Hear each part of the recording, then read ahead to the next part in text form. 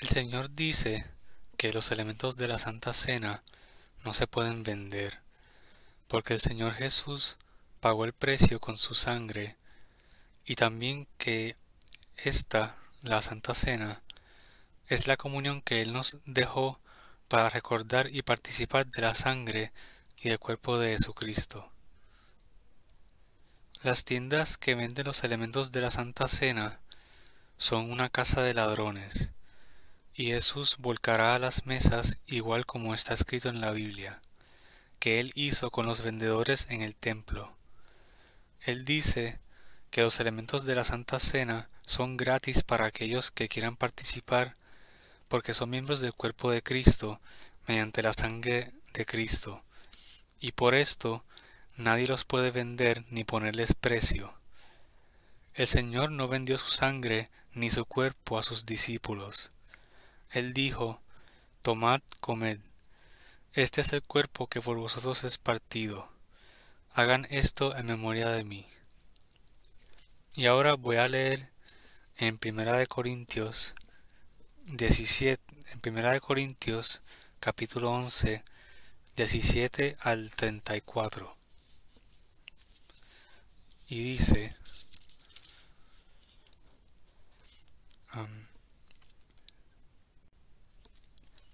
y dice así,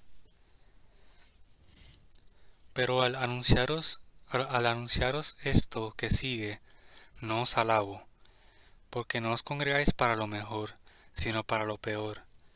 Pues en primer lugar, cuando os reunís como iglesia, oigo que hay entre vosotros divisiones, y en parte lo creo, porque es preciso que entre vosotros haya disensiones, para que se hagan manifiestos entre vosotros los que son aprobados.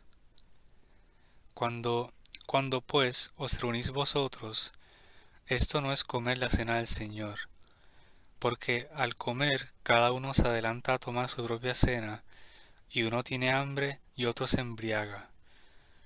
Pues qué, ¿no tenéis casas en que comáis y bebáis? ¿O menospreciáis o menospreciáis la iglesia de Dios y avergonzáis a los que no tienen nada? ¿Qué os diré? ¿Os alabaré?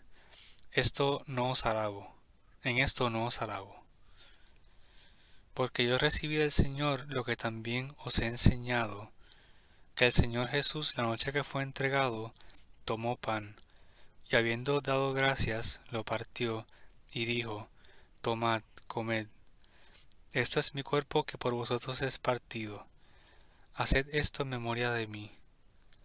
Asimismo tomó también la copa, después de haber cenado, diciendo, Esta copa es el nuevo pacto en mi sangre, Haced esto todas las veces que la bebiereis, en memoria de mí. Así pues, todas las veces que comiereis este pan y bebiereis esta copa, la muerte del Señor anunciáis hasta que Él venga. De manera que cualquiera que comiese este pan o bebiere esta copa del Señor indignamente, será culpado del cuerpo y de la sangre del Señor. Por tanto, pruébese cada uno a sí mismo, y coma así del pan y beba de la copa. Porque el que come y bebe indignamente, sin discernir el cuerpo del Señor, juicio come y bebe para sí. Por lo cual hay muchos enfermos y debilitados entre vosotros, y muchos duermen. Si pues nos examinásemos, a nosotros mismos no seríamos juzgados. mas siendo juzgados, somos castigados por el Señor, para que no seamos condenados con el mundo. Así que, hermanos míos, cuando os reunís a comer, esperaos unos a otros. Si alguno tuviere hambre, coma en su casa, para que no os reunáis para juicio. Los demás, cosas, las demás cosas las pondré en orden cuando yo fuere. Amén. Y aquí en, el verso 30 dice, por lo cual hay muchos enfermos y debilitados entre vosotros, y muchos duermen. Eh, aquí el Señor me está dejando entender que donde dice y muchos duermen, significa que, que duermen, ¿verdad? Que no están su, ¿verdad? Están espiritualmente ciegos, ¿verdad? O dormidos. no están, están tibios, eh, ¿verdad? En la fe y no están, la fe no está activa y no están en el Señor, que por eso es que dice que duermen que no necesariamente significa que están muertos, sino espiritualmente están cegados. Así que esto es lo que el Señor quería que yo les compartiera y espero que el Señor les bendiga y que, ¿verdad? Aquellos que trabajen o participen en tiendas eh, que se llamen cristianas, en donde se venda la Santa Cena o los elementos, pues espero que esto sea de bendición y que el Señor los dirija a lo que Él quiere que ustedes hagan. Y esto, ¿verdad? Es como, en, bueno, un regaño del Señor, Para edificar a la iglesia, para que su iglesia sepa qué es lo que debe de hacer y qué, es lo que no debe de hacer. Pero el Señor tiene muy claro en este mensaje que los elementos de la cena del Señor no se pueden vender. Que no es algo que alguien puede vender, sino supone que sea gratis para todos. Así que gracias por ver el video y que el Señor les bendiga.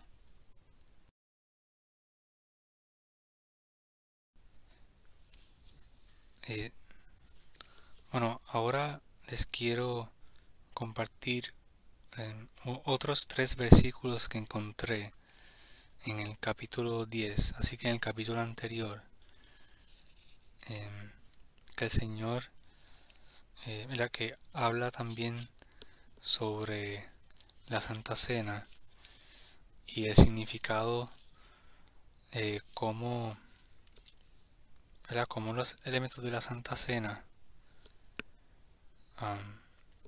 simbolizan nos simbolizan como cuerpo de Cristo.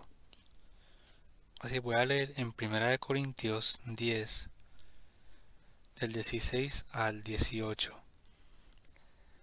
Dice, la copa de bendición que bendecimos no es la comunión de la sangre de Cristo el pan que partimos no es la comunión del cuerpo de Cristo. Siendo uno solo el pan, nosotros, con ser muchos, somos un cuerpo, pues todos participamos de aquel mismo pan. Y esa es la unidad de, de nosotros, del cuerpo de Cristo. Y por eso es que no se puede vender y tiene que ser gratis para nosotros. Bueno, porque el Señor no se lo vendió a los discípulos.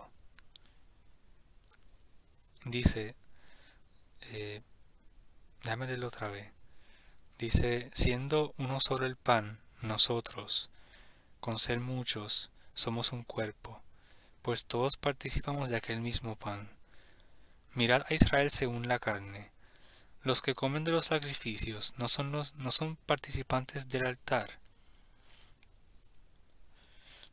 y esto significa que nosotros somos participantes de en las cosas del Señor. Así que eh, gracias nuevamente por ver el video.